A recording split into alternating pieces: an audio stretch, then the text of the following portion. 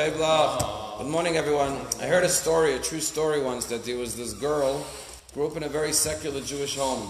When she went to college, she started to get involved in Christianity. And she was going to church and considering conversion. When her father heard this, uh, he wasn't a religious Jew, but this concerned him. So he went to talk to the rabbi. The rabbi said, I'll go to the campus, I'll talk to your daughter. He calls the daughter, the rabbi, this reform rabbi. He goes, he meets with this girl on campus. He says, you know, what did you find in Christianity that you didn't have in Judaism? She says, Christianity's filled it with love. There's so much love in Christianity. Uh, the, the passages they say are so full of love. He says, Really, could you give me an example of which passage really moves you? She says, There's one passage I just love. It's so moving. We say it all the time. It says, And you should love the Lord your God with all the, you should love the Lord your God with all your heart, with all your soul, and with all your might. Obviously, that's the second passage in the Shema, but she was not familiar with the Shema. She thought the Rambam says on this passage in the Shema, you should love the Lord your God with all your heart, with all your soul, and with all your might. That what does it mean to love God? Says Maimonides, like a man who's love sick, and he can't get a woman off his mind, and he's constantly thinking about her. That's the way a person should be with God. That he should be love sick for God. That cholas ahava, he says sick with love, that he can't stop thinking about God because of his deep love for God. In this week's Parsha, we learn about the, the Mishkan and the various vessels that were made. And the first thing when the Kohen came in is he washed his hands in the kior, the laver, which was a copper made wash basin. And the Torah tells us in this week's Parsha that the laver was made out of copper. Where did they get the copper for the laver? So it says that the women donated their mirrors. In those days, mirrors were a piece of copper that was shined, polished very well until it reflected their image. So the women gave their mirrors, the copper mirrors. Moshe Rabbeinu melted the mirrors, the copper, and made the laver, the kior, the wash basin for the Kohen when he washed his hands and his feet every day.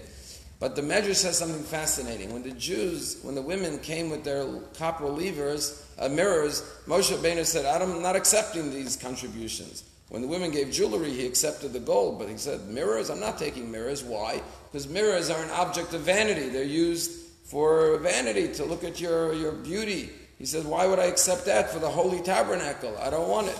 God said to him, Not only should you take it, but these mirrors are the most precious contribution from all of the gifts. Why?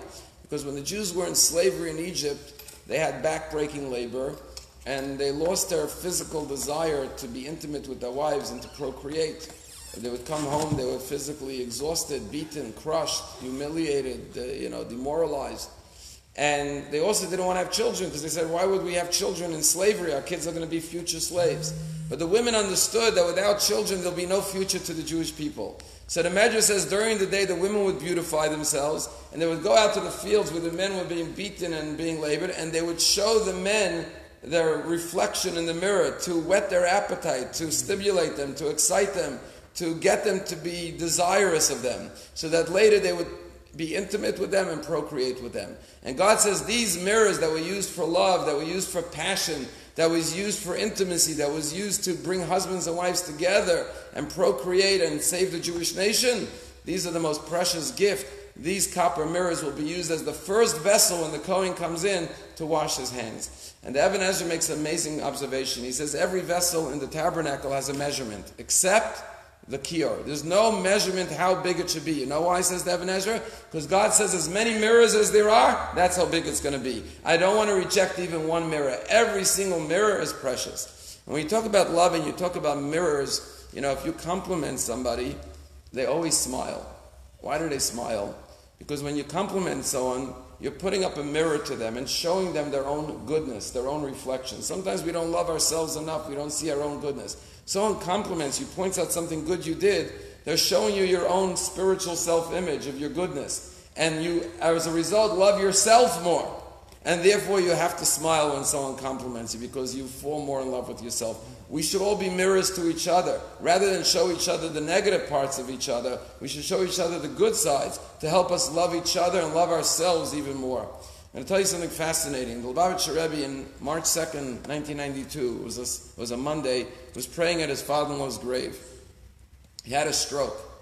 and he wasn't able to speak after that till 1994 when he passed away. That was on Monday. The day before, he was giving out dollars as he would always do on Sundays.